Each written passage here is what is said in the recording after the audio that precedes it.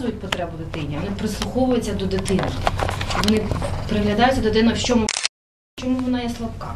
І дають допомогу дитині, щоб вона розвила свої сильні сторони або підтягнула слабкі сторони. І от зараз спільнота донорська взагалі замислилась над питанням, по-перше, як взагалі дивитися на третій сектор? Чи це взагалі є третій сектор? Зараз вже йде дуже дуже сильна зміна парадигми, що це взагалі не повинен бути окремий сектор. Це повин, це такий самий це сектор, який повинен бути інкорпорований в життя на міс, на місцевому рівні, на національному рівні. Друге питання, що зараз ми поки що не готові говорити про цю інкорпорованість на багатьох на рівнях законодавчому, будь-якому, на рівні розвитку організацій, на рівні розвитку урядовців, державних службовців. Але те, що зараз відбувається оця зміна сприйняття організації третього сектору не як якихось окремих штучних паралельних організацій. І це, ну я думаю, що всі організації насправді не справжні організації, не ті організації, які годуються міжнародними грошима, а ті, які мають мету діяльності, які мають покликання, які мають за суттю те завдання, яке вони мають виконати. І саме для цих організацій буде дуже цінним цей ринок, який ви будете створювати. Тому що організації, які годуються міжнародними грошима, в них немає місії як такої. Вони орієнтуються там, де дають гроші, вони вони то фіолетові, то червоні, то ще якихось. Потрібно орієнтуватися. Я, просто зараз не готова сказати, яким би чином я би, наприклад, взагалі відрізняла справжні організації від несправжніх, але я маю зараз честь разом з двома шведськими експертами, які СІДА законтрактували, розробляти рекомендації для підтримки громадянського сектору в рамках підтримки, яку надають СІДА Swedish International Development Agency. От вони і мене дуже радує те, що вони взагалі, по-перше, замислюються, по-друге, вони змінюють повністю парадигму сприйняття сектору, і вони будуть сприймати вже не сектор як сектор окремо, а як складова реформ секторальних. Будь то реформа енергетична, будь то реформа адміністративного адміністративного, і це і це прекрасно. І тут і тут. І це такий тест для наших організацій е, громадянського суспільства, тому що насправді виходить, що не всі організації взагалі готові вступати в діалог. Дуже мало насправді готові, тому що то їх не проінформували, то їх не запитали.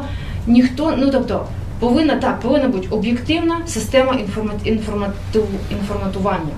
Так само, як повинна бути об'єктивна система інформування про послуги на ринку е, тренінгових послуг. І це вже залежить від організації, наскільки вона активна, наскільки вона хоче виконати те, що вона хоче виконати.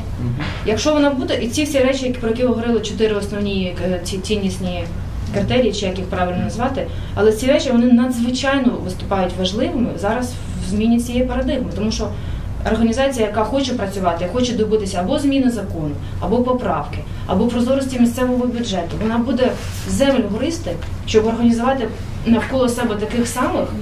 І і тут і мобілізація, і комунікація, все єдине, що вони потребують інструментарію, звичайно. Вони не не навчені, в нас немає досвіду, у нас немає ну взагалі то у нас демократичні навички в нас майже відсутні, на жаль, за багатьма різними історичними і іншими причинами.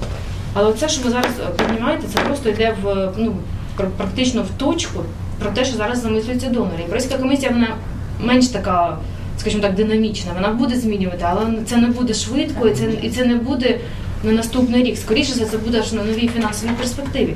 Проте, як донори, як двостороння допомога, вони зараз вже про це замислюються. І зараз вже йде допомога не організаціям як таким окремо. Йде тільки думання над тим, як інкорпоровувати громадський цей компонент в секторальні реформи, в національні реформи, але не окремо.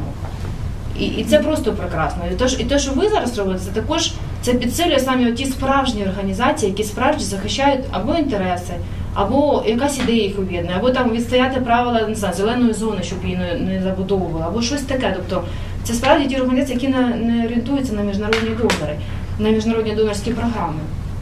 І от за цими організаціями буде майбутнє.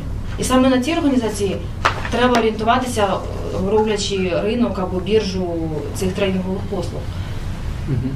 Можна продовжити?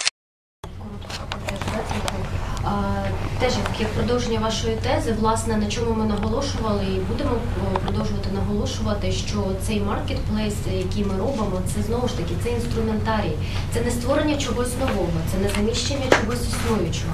Це інструментарій додатковий, яким кожен, хто захоче, зможе користуватися. Я згодна, що у нас історично так склалось, ну не навчили нас вчитися, скажімо так. Тобто нас навчали, починаючи з садочка, кажучи, що ти маєш робити те, те, те. Але е, навча, ну як самому вчитися, самонавчанню і як розуміти свої потреби, і що обирати з того е, вибору, який, м, який в тебе є, нас нам на, на жаль не вчили. Зараз можливо починають вчити, хоча можливо наша система навчання ще теж потребує дуже багатьох реформ. Але коли в тебе ще є вибір, а ти взагалі не маєш навичок і не розумієш, а що ж мені з цього зробити, то досить важко складно зробити цей вибір. Тому якби я все-таки ще раз наголошую, що це додатковий інструмент, який можливо допоможе.